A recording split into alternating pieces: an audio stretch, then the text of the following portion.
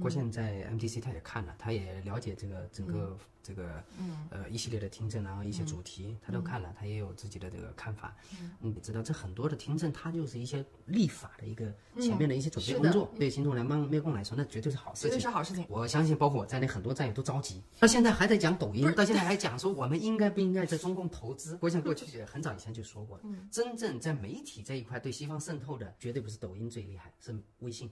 是微信，对，是微信。但是你看到现在，没看到几个国会在讨论这个微信的这个，他是不敢听，因为之前川普想就是想禁，但是后来那个中共呢，在美国就找了那个律师团队，还反告，最后他们给告赢了。现在整个国会听好事情，更多的听证越多越好，但是节奏很慢，但是也没办法，毕竟是别人这个这个国家的这个体制内的这种系统，说白了就就很官僚。有一些到现场作证的人，都是一些。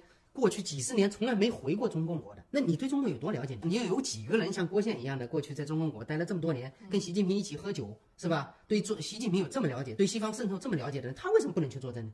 他反倒不能去作证。你告诉我，他能有什么结果？说根本谈不到实质性的。比如说，有谁在听证上有谁提出来，当年谁把中共带到 WTO 里面去了？谁让中共？获得了奥运会的资格，八九六四过去了三十几年了，有没有人去问谁放过了八九六四？谁让共产党逃过了这一劫？所有的听证都是表面的，如果不能到更深层次，那不去问这些根本性的问题的时候，那我们可以说，你你是你自己美国的责任，嗯，对不对？是美国把真正的把中共给强大起来。我们最近有看到这个有一些这个组织到国会去听证的人，说是我们提出来了，这个中共不代表中国人。你说这句话谁提出来的？谁说的？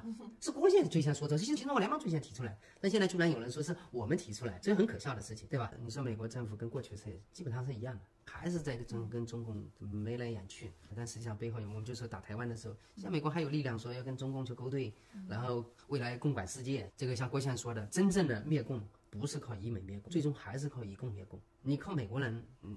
你不要去指望，当然以美灭共，它是需要有这个过程，通过以美灭共来推动以共灭共。用郭宪的话就是，这个习近平是是灭共的最好的一个人选，总加速师。郭宪有开玩笑的，这习近平一个人抵得过一万个美国人去灭共。